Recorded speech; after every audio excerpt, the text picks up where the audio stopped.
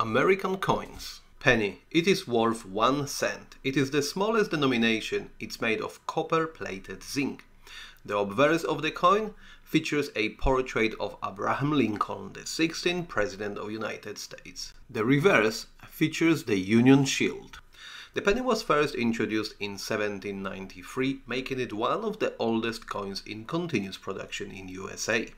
In recent years, there has been debate about the penny's continued use due to its low value and high production cost. Some have argued that it should be discounted, whilst others believe it is still a valuable part of US monetary system. The nickel is a 5 cent coin in the United States. The obverse side of the nickel features a portrait of Thomas Jefferson, the third president of USA. When it comes to reverse side of the nickel, that features a Monticello, Jefferson Historic Plantation home in Virginia. The inscription Monticello and the word Liberty are also included. The nickel was first introduced in 1866 as a 5 cent coin made of nickel. However, it was discounted in 1883 due to high production cost and it was reintroduced in 1938 as a nickel-plated copper coin. The dime is a silver-colored coin in the United States, which is worth 10 cents.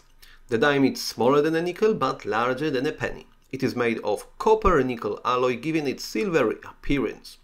The obverse side features a portrait of Franklin Delano Roosevelt, the 32nd President of the United States.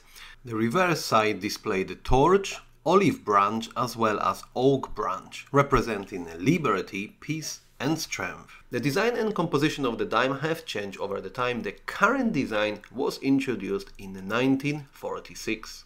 The quarter is a common US coin worth 25 cents. On obverse side, it features a portrait of George Washington, the first president of United States. The reverse side typically depicts an eagle with a shield representing the United States.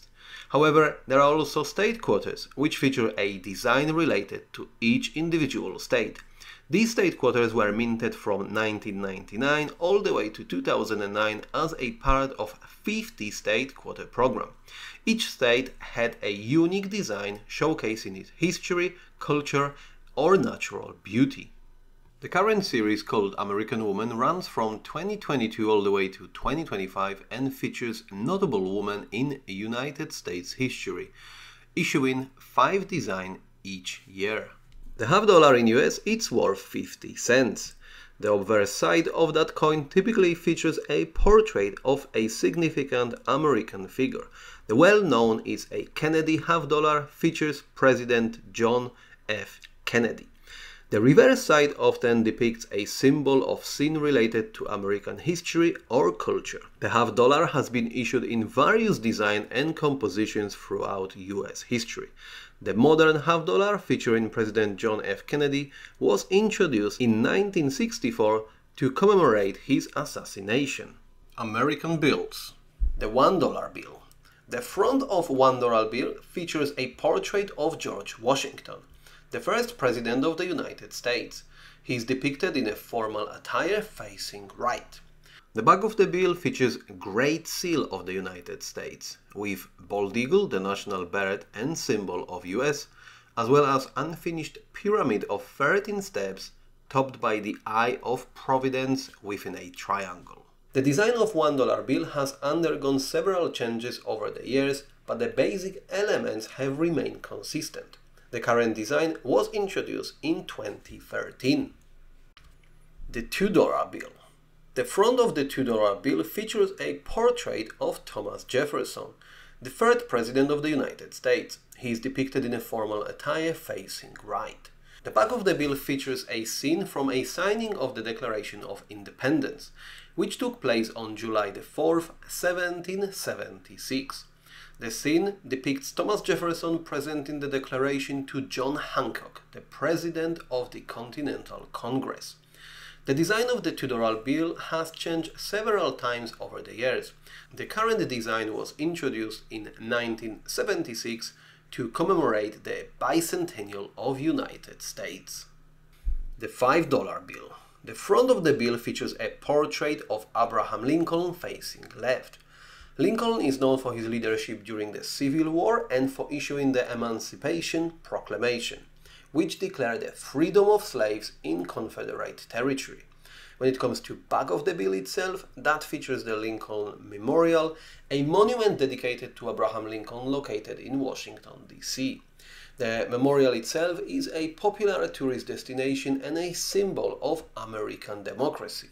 The current design of a $5 bill was introduced in 2016. The $10 bill.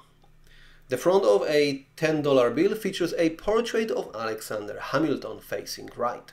Hamilton is known for his role in establishing the United States financial system and for his contribution to the Federalist Papers. The back of the bill features the United States Treasury Building, which is obviously located in Washington, D.C. The building is a headquarters of the U.S. Department of the Treasury. Similar to $5 bill, the current design was introduced in 2016. The $20 bill the front of the bill features a portrait of Andrew Jackson facing left. Jackson is known for his role in the War of 1812 and for his controversial policies as president. When it comes to back of the bill, that features the White House, the official residence of the President of the United States. The White House is a symbol of American democracy and power. Similar to the previous two bills, that design was introduced in 2016 the $50 bill. The front of the bill features a portrait of Ulysses S. Grant facing left.